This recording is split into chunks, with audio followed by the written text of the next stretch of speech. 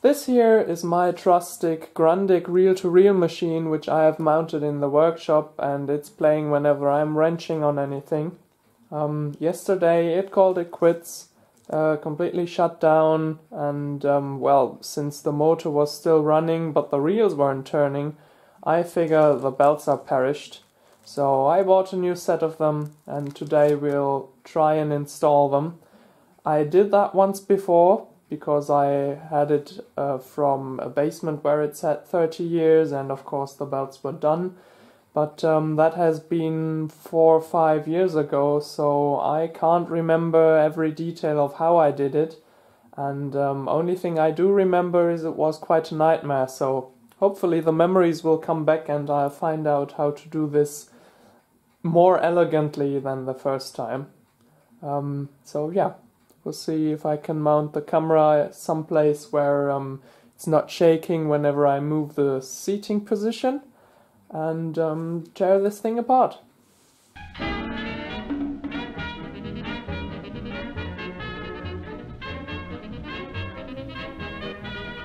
Now, the problem I recall I had was that uh, every one of these brake cushions and whatnot is held in place here in these tabs, uh, basically like a clock where the pivots are in the bearing end plates. And um, since we can't get the belt onto this wheel here without removing the top, well, uh, this can show prove to be quite annoying. So I can see this here is spring loaded, so that will snap into there. This here is spring loaded, this is spring loaded, everything is spring loaded. Um, probably best to unhook these before doing anything else.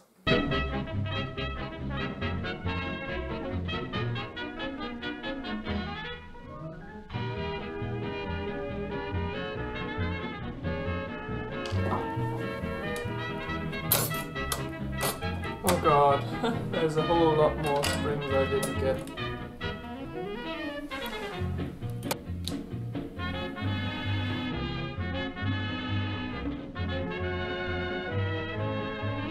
Okay, so now we've got a good view at the chaos here.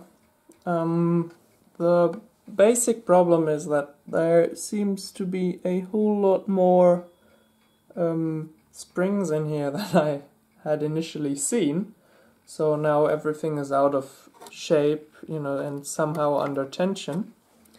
And uh, the goal will now be to lower this top plate back down in here with all these little tabs that you can see engaging into the top. So this one here, for example, this one here, they all have a hole in the top plate in which they have to engage. And seeing that the left side is still in the bottom place, I'm going to start from here and gradually try and put every little piece of these levers, uh, these notches into the bottom plate and then clip the top plate onto them.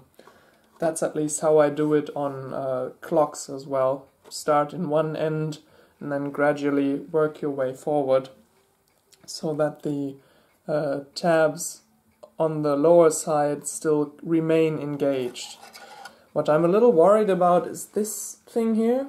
This came from somewhere here and I have yet to find the uh, way that this will have to sit. There's two notches here, which may be the ones, but then I don't know which way round it was. Uh, it's most certainly got to do with this thing because it doesn't click anymore, just uh, spins about loosely. So um, I'll have to see how that will have to fit. Uh, there's a carrier am down in here, so that's maybe where this thing goes. You can see it has rubbed on here. Um, but uh, yeah, that'll have to go in here somehow. I'll see what I can do and I'll see how I'm going to video this the best way.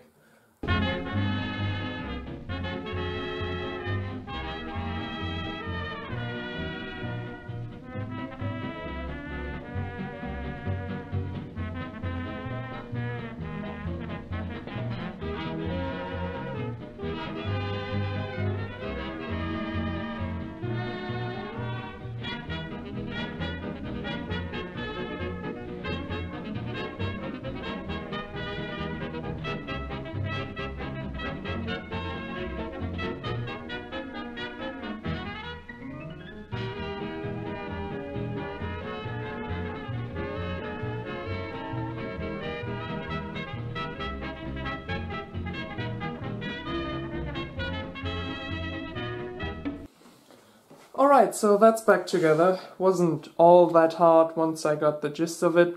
I hope it was evident what I was doing. Now you can see that all these little pivots are back in their place. This one was a little tough because it's held in with one spring from here and one spring from there, so it doesn't want to stay where it is, but it has an extra long pivot, so uh, it can be clipped into place with a little bit of um, persuading.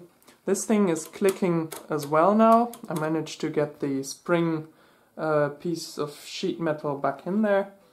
And um, now what's left is, uh, of course, getting the belt tracked properly, which I hope I put into the proper level. I put it uh, going above this beam here and not below it because I think otherwise it would be rubbing.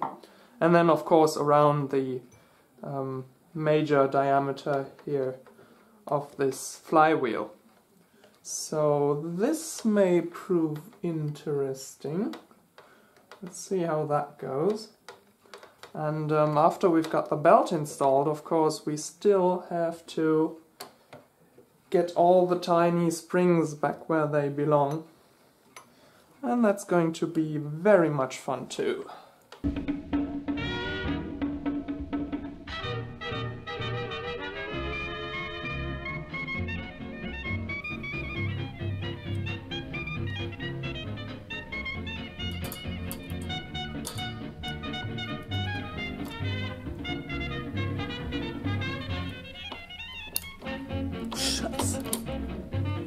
No.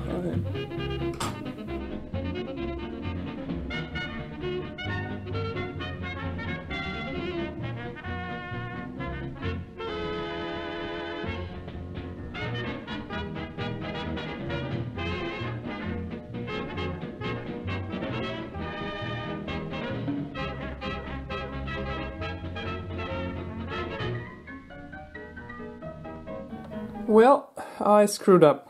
See, the belt here is not supposed to go around this metal tab, this guy here.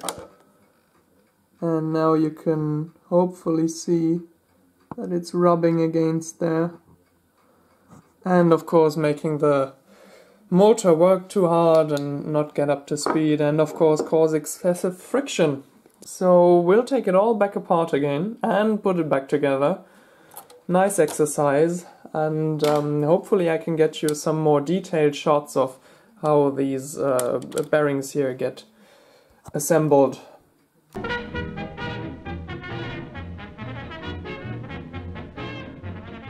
Okay, so now we'll go left to right um, try to be sneaky here and only unhook uh, two screws and keep the rest of it in place, which seems to have worked out.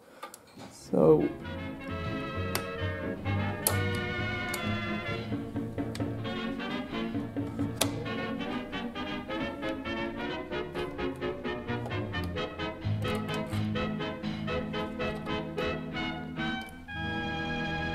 Next up then is the bearing, however you want to call it, which slips into place on its own. And then over here we've got this guy, which is a little stubborn. There we go. And now for the spring plate. This one's a little tougher obviously because it's under tension, but it should engage into this and this hole here.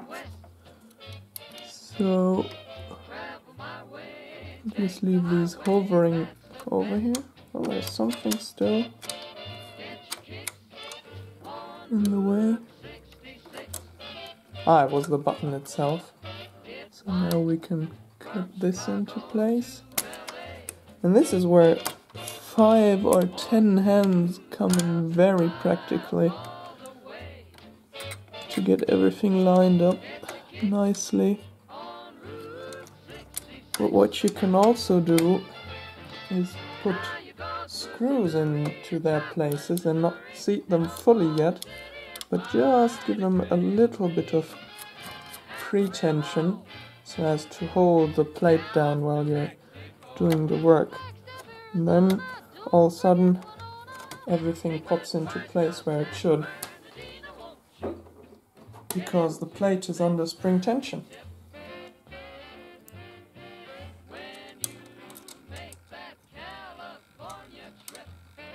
The screw back where it belongs.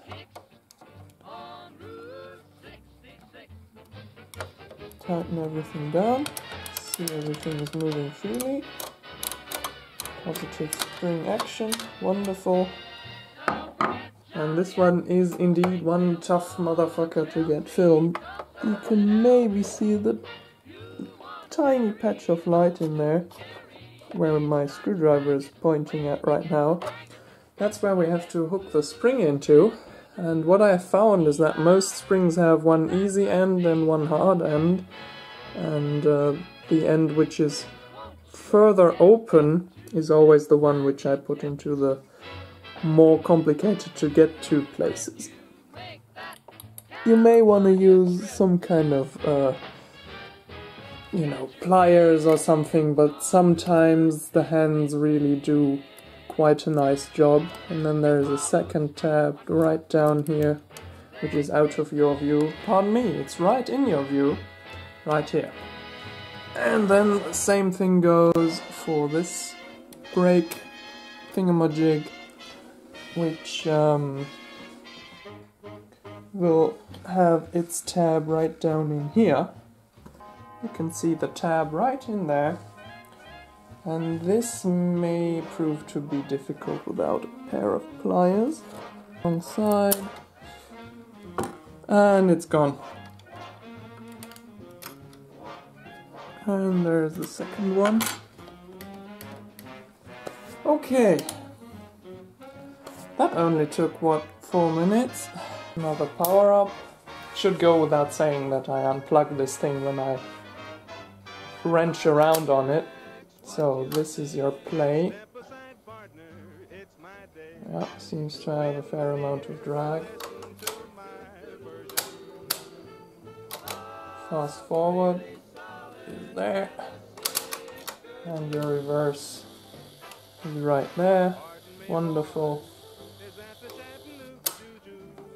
So, well, now we can put the covers on here. Well, obviously we can't put them covers on here yet because when you take a close look the uh, pinch roller isn't moving into place. And uh, that of course is everything that transports the tape when playing. So when you take a close look this thing here is powering this lever and the capstan or the pinch roller here is on that lever. So what I'm thinking is as you press play this lever is pressing that against there and since they're both in the wrong position all it should take is levering this one here below that one and have them both engage like that. Yes wonderful. While I have the covers off I should probably also give you a quick tour around this thing.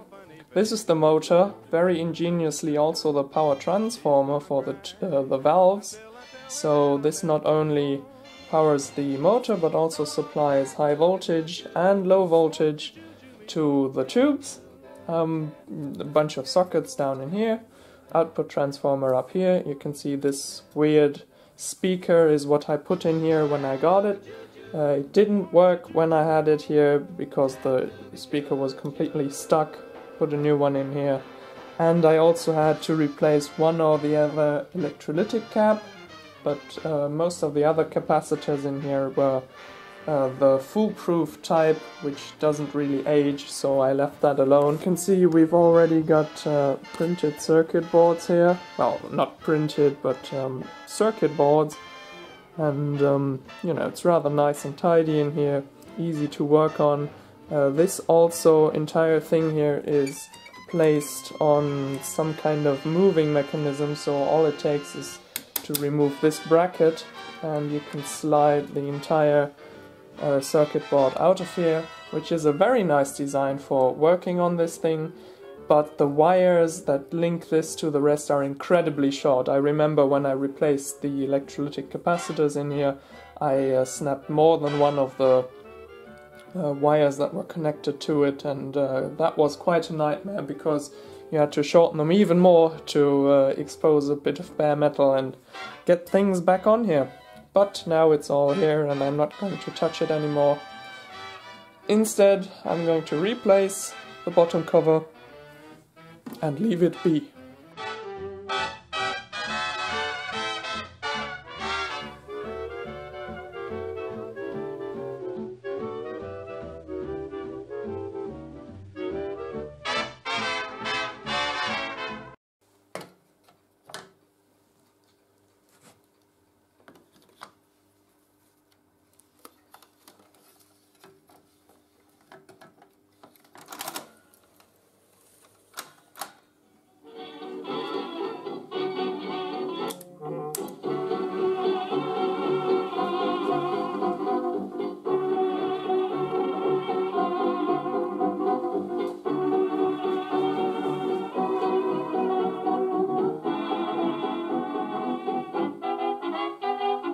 Well, back in business.